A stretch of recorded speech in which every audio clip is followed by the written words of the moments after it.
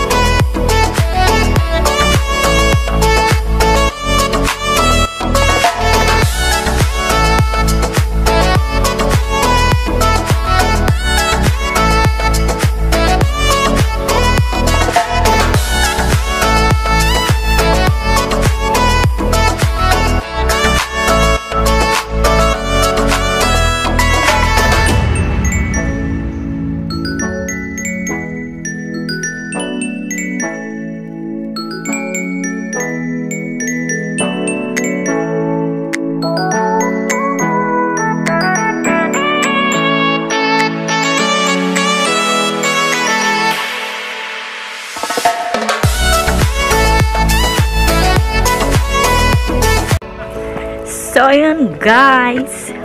So, nandito na tayo ngayon sa Tech po. So, medyo madami ngayon tao. Ayan, dahil nga sobrang ganda ng view. Ayan. So, ayun yung church. Ayun. Ayan. Sobrang lamig. Kasi nga may ice na.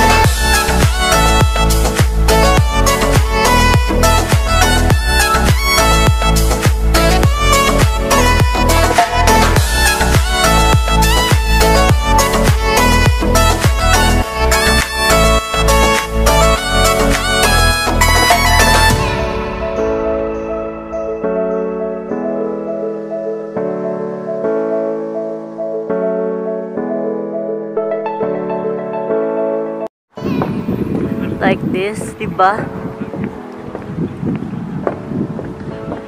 Sobrang ganda, amazing. So, kayo guys, kung nandito kayo sa New Zealand, you here in New Zealand, let's, yep, yeah, yeah. So, you come, so, ayan, nice, amazing. So, you can come in, next, you can come, I mean, pumunta kayo dito guys, kung nandito kayo sa New Zealand, yan, mga Pilipino, na kapwa-Pilipino ko, kung nandito kayo sa New Zealand, punta kayo dito sa ah Tekapu, Lake Tekapu. Yup. Sobrang amazing talaga ng view niya dito. Basta maganda ka lang magkuha ng picture. Ayan, so yun, sobrang pinasyal ko na kayo dito sa magandang, napakagandang view ng New Zealand. So marami pa dito magandang view. But next time, ipapasyal ko ulit kayo. Ayan, dahil nga is weather. Maganda kasi pag weather kasi nga is uh, we have the ice. Yep.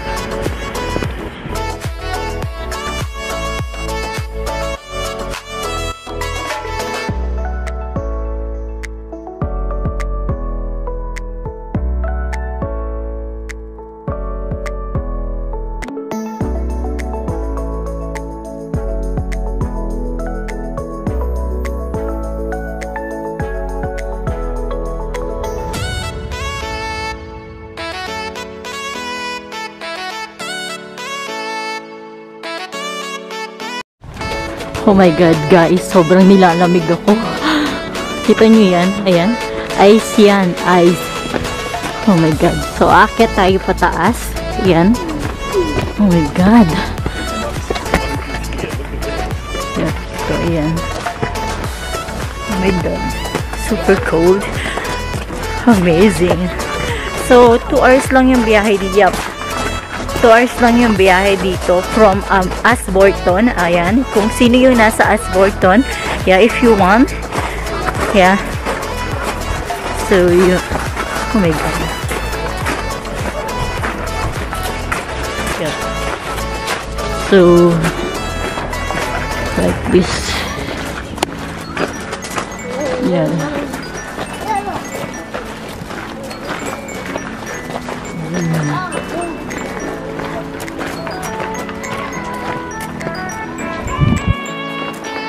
Oh my God. So, umuusok na talaga yung hot water niya, guys. Oh, oh my God. Nakikita ko na. It amazing. Yep. Kita nyo, guys? Ayan. So, ayan siya. Like that.